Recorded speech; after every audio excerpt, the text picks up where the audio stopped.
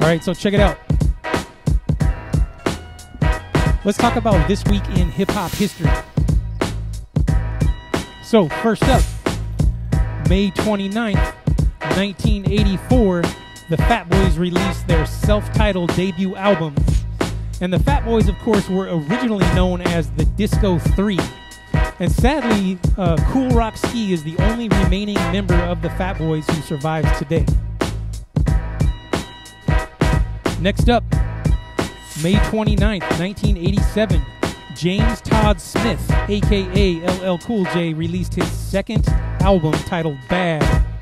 And this is uh, an acronym for Bigger and Deffer. And not only that, but did you know that the name LL Cool J is also an acronym for Ladies Love Cool James? Smash that heart button for LL Cool J and show some love. Moving right along, May 24th, 1990, Compton's Most Wanted released their debut album, It's a Compton Thing. And to this very day, this is still one of my favorite West Coast gangster rap albums. Those who know, know. May 28th, 1991, NWA released their second and final album titled Efil4zaggin. And this album featured light-hearted family favorites like One Less Bitch, To Kill a Hooker, and She Swallowed It.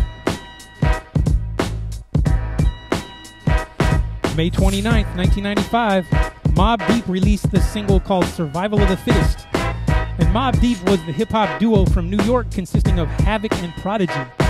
Uh, sadly, Prodigy passed away back in 2017, so type RIP Prodigy down below and show some love. And last but not least, May 24th, 2005, Common released his sixth album titled Be. And did you know that Common was the ball boy for the Chicago Bulls back in the 80s during Michael Jordan's rookie year with the team? The more you know. And that concludes this week in hip hop history.